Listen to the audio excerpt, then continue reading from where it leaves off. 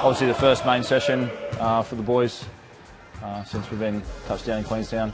Yesterday was a bit of a flush session, so boys ready to go for a day and um, similar to sort of uh, what you have at home.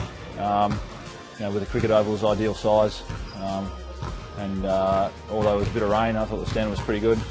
You know, was, we've been through a few sessions and a few meetings about how we want to optimise our time here, and, and that was why you know yesterday was in place just to sort of boys get a bit of a run in and loosen up the bodies after the, the plane trip and the bus trip. So um, today was sort of, you know, ticking that box and, and not going, you know, step backwards. But you know, we're here for a reason, and that's to uh, continue to get better and continue to um, do the next phase of our pre-season. So um, boys really attacked the training session. I thought it was really good. I think it's a good chance to sort of get to know blokes, you know, outside of the club. So a lot of we spent a lot of time at the club, but you know, away from that and how they how they act and how they are, and, and they also got staff as well and the execs. So it's a good chance to learn some learn some things about other guys or just see what how other guys go about it. For me, it's sort of um, you know it's just another step in the pre-season as well.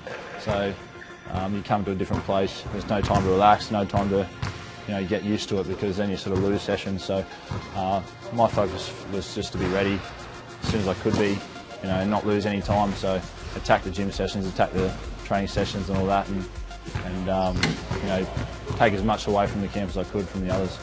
Bucks was talking the other day about there's probably only less than a handful of guys that have really cemented a spot in the team. So um, you know there's still was a long way to go. First AFL game is is early April, so that's still a fest in a way. But there is a bit of you know uh, you know nervousness and stuff about the uh, upcoming inter clubs and and obviously uh, the NAB Challenge games as well. So there's um, boys, you know, going to start trying to put their hand up ahead of the next bloke, and that's that's probably a good thing with the intensity and the uh, competitiveness of training.